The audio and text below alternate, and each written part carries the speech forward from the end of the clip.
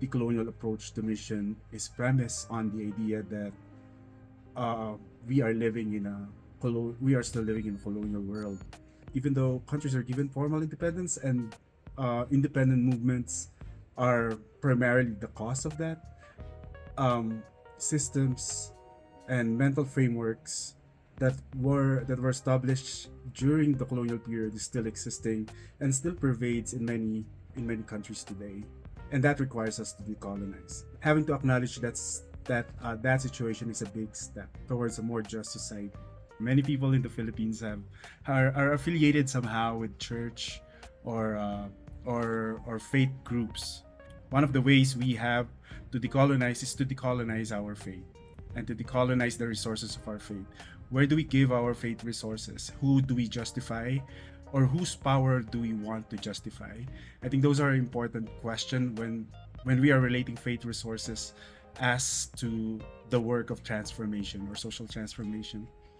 In the Philippines, the lands that were given by colonial Spain and later on was right on by U.S. Uh, colonizers still is still in the hands of the of those people who collaborated with with the with the colonizers.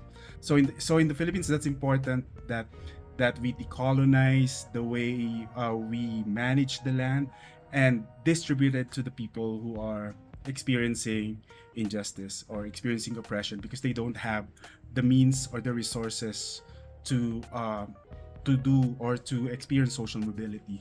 That is also the the reason why our faith resources has to be accompanying and justifying social movements that create or that that pushes for land reform, that pushes for the the rights of indigenous peoples and uh, farmers, basically uh, sectors that are marginal from uh, from the political system. You cannot prevent migrants from migrating because there's no job in the in the in the Philippines. The land, the, the means of production is still in the hands of the powerful.